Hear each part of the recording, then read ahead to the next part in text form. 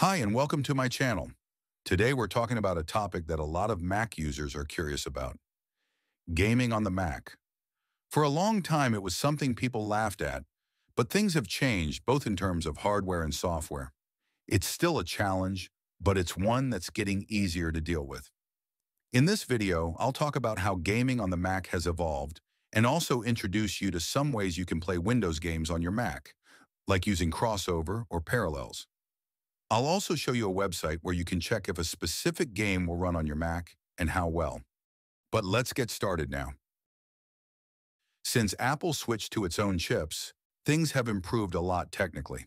The performance is great, the energy efficiency is impressive, and many games run much better than they used to. The problem, though, is still the same. A lot of games simply don't release natively for macOS.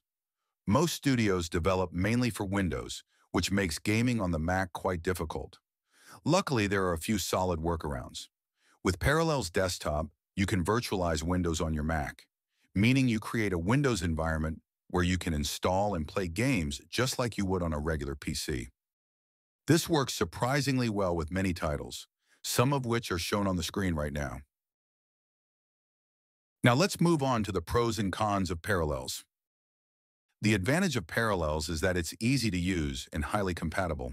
The downside is that you're simulating an entire Windows system, which uses up a lot of RAM and CPU. On base model Macs, that often means there isn't much power left over for the actual game. To avoid that, there's another app called Crossover. Crossover is the second option. It's based on Wine and allows you to run Windows games directly on macOS without having to install Windows at all. That saves system resources and, in some cases, even delivers better performance than Parallels. The advantages of crossover are the support of DirectX 12, as well as the much lower usage of system resources.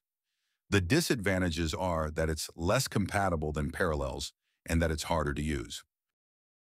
As you can see, I have again shown some compatible games on the screen. Even though these two programs have many differences, they both have one big problem in common, the price. As you can see, both programs are very expensive yearly subscriptions, which can cost a little bit too much for the normal user.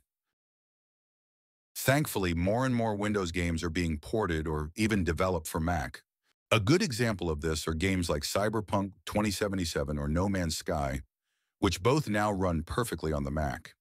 Games like Resident Evil Village and Death Stranding have also been ported to Mac OS, with full support from Metal, Apple's graphics engine.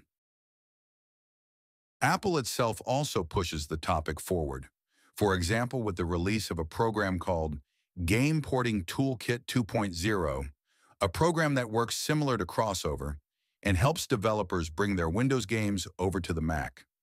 That means that over time, the amount of natively playable games on the Mac will increase, and you won't have to pay for expensive tools like Parallels or crossover anymore. However, if you want to know whether a specific game runs on the Mac, whether natively, through Parallels, or using crossover, definitely check out Apple Gaming Wiki. I'll leave a link in the video description.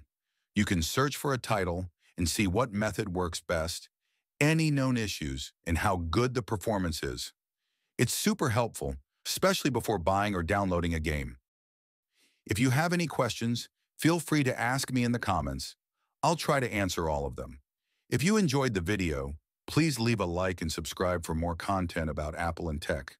And let me know in the comments which games you play on your Mac and whether you prefer crossover, parallels, or native ports. I'm really curious to hear your experiences. Thanks for watching. See you in the next video.